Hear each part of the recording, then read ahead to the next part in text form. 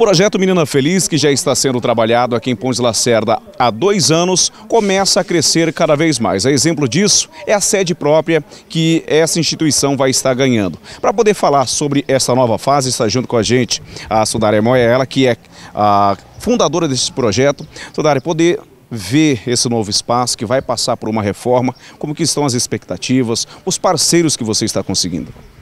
Bom, parceiro, parceiro mesmo, por enquanto, a gente ainda não tem. Nós é, arrumamos os documentos que era para ser organizado, tinha que legalizar para a gente conseguir parceria, né? Que a gente funcionava é, simples, simples, sem documentos, sem nada. Agora a gente já tem o CNPJ, tem a conta no banco, nós estamos já organizada uma associação. Então agora que a gente está indo atrás de parceiro.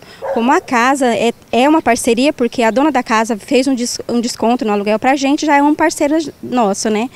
E se Deus quiser, essa semana eu já vou começar com a reforma. A gente percebe que é um espaço mais amplo que vai poder atender as necessidades do projeto. Sim, agora a gente vai conseguir atender já o que a gente fazia ano passado e vamos colocar novos cursos.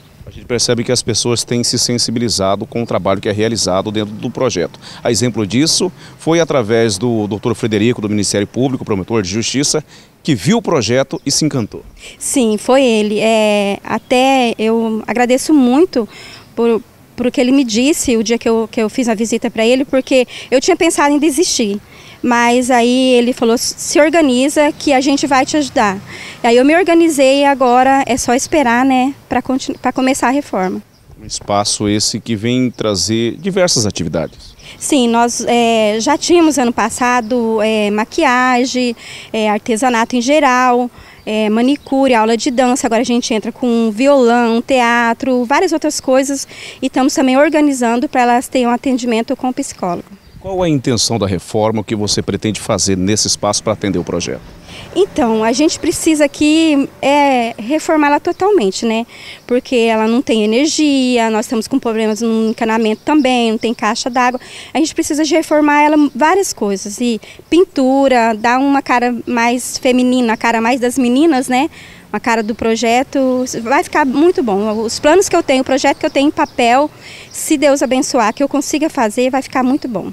Para as pessoas de Pontes de Lacerda que queiram contribuir, além desse início de conversa com o Ministério Público, aqueles demais que queiram fazer alguma ajuda, como que pode fazer? Então, é, pode entrar em contato comigo, né? É, eu ainda se encontro no mesmo endereço, que é, é na Vila Ibeck, é, Rua Ceará, número 330. Eu acredito que eu tenho, devo ficar lá por um mês ainda, porque aqui vai ser um pouco demorada a reforma. E também tem o meu celular, né? Que a pessoa pode entrar em contato, que é o 99 19 5659. Qualquer ajuda é bem-vinda, desde um saco de cimento a tijolos, tudo é bem-vindo. Nossa, qualquer ajuda, qualquer ajuda é bem-vindo, é porque é de pouquinho que a gente consegue fazer, né? Então, assim, um saco de cimento, uma lata de tinta, um rolo de fio, porque é o que a gente vai gastar muito com a fiação, porque ela não tem nada na fiação, entendeu? Aí qualquer ajuda é bem-vindo. O pagamento é o trabalho que vai ser feito tirando essas meninas, por exemplo, de situações ilícitas. Sim, verdade. É, eu tenho casos é, de meninas que mudou completamente o comportamento delas, que as mães são gratas por isso, entendeu? É por isso que eu tenho força de continuar ainda insistindo com o projeto, porque eu sei que está fazendo bem. E eu tinha 96 no final do ano, 96 alunas inscritas no final do ano. Eu já estou fazendo inscrições para mais meninas. E é por isso também de querer o espaço para oferecer coisa melhor para as meninas, já que a gente vai tirar ela da casa, né? Às vezes é, tem criança que é, fica em casa só na internet, ou então fica na rua, é, deixa os pais que estão no trabalho preocupados, e aqui não, que elas vão estar seguras e ainda aprendendo né, alguma coisa para o futuro. Para que as pessoas queiram conhecer esse novo espaço, esse futuro endereço, como que pode fazer? Passa o endereço certinho. A gente está aqui na Avenida Joaquim Gomes de Souza, é, número 1580, centro.